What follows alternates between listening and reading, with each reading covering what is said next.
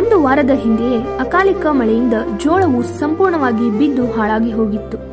ಈಗ ಯಾರೋ ದುಷ್ಕರ್ಮಿಗಳು ಬೆಂಕಿ ಹಚ್ಚಿದ್ದರಿಂದ ತಾಲೂಕಿನ ಬಡ್ನಿ ಗ್ರಾಮದ ರೈತ ಬರಮಪ್ಪ ಬೀರಪ್ಪ ಕಂಬಳೆ ಎಂಬ ರೈತರ ಮೂರು ಎಕರೆ ಬಿಳಿ ಜೋಳ ಸುಟ್ಟು ಹೋಗಿದೆ.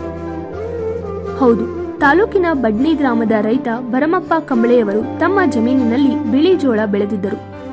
ಬೆಳೆ ಸಂಪೂರ್ಣವಾಗಿ ಕಟಾವಿಗೆ ಬಂದಿತ್ತು. ಅದು ಯಾರ ದೃಷ್ಟಿ ಬಿತ್ತೋ ಗೊತ್ತಿಲ್ಲ. ಯಾರೋ ದುಷ್ಕರ್ಮಿಗಳು ಬೆಂಕಿ ಹಚ್ಚಿದ್ದರಿಂದ ಬೆಳೆಯು ಸಂಪೂರ್ಣವಾಗಿ ಹಾಳಾಗಿದ್ದು, ದನ ಕರುಗಳಿಗೂ ಹಾಗೂ ಎತ್ತು ತಿನ್ನುವುದಕ್ಕೂ ಬರುವುದಿಲ್ಲ. ಅಷ್ಟರ ಮಟ್ಟಿಗೆ ಸುಟ್ಟು ಕರಕಲಾಗಿದೆ. ಮೊನ್ನೆ ತಾನೇ ಅಕಾಲಿಕ ಮಳೆಯಿಂದ ಬಿಳಿ ಜೋಳ ಹಾಳಾಗಿ ಹೋಗಿತ್ತು. ಅದನ್ನೇ ಅಲ್ಪ ಸ್ವಲ್ಪ ಜೋಳ ಕೊಯ್ದುಕೊಂಡು ಎತ್ತುಗಳಿಗೆ ದನ ಕರುಗಳಿಗೆ ಆಗುತ್ತೆ ಅನ್ನುಕೊಂಡಿದ್ದವು. ಆದರೆ ಯಾರೋ ದುಷ್ಕರ್ಮಿಗಳು ಬೆಂಕಿ ಹಚ್ಚಿದ್ದರಿಂದ ಸಂಪೂರ್ಣ ಬೆಳೆ ಹಾಳಾಗಿದೆ. ದೇವರಿಗೆ ನಮ್ಮ ಮೇಲೆ ಕರುಣೆಯೇ ಇಲ್ಲದಂತಾಗಿದೆ ಎಂದು ರೈತ ತನ್ನ ಅಳಲನ್ನು ತೋಡಿಕೊಂಡಿದ್ದಾನೆ.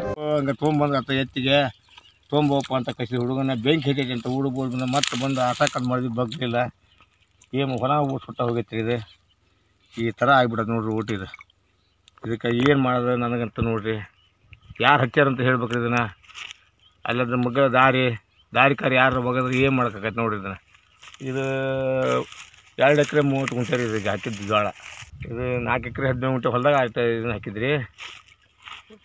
ಇದು ಹತ್ತು ಗುಂಟೆ ಕಮ್ಮಿ ಮೂರು ಎಕರೆ ಆಕೈತೆ ನೋಡಿರಿ ಹಾಂ. ಊದ ಊದ ಹಿಂಗೆ ಆಗ್ಬಿಟ್ಟು ನಾವು ಹಾಕೊಂಡಿದ್ದೆ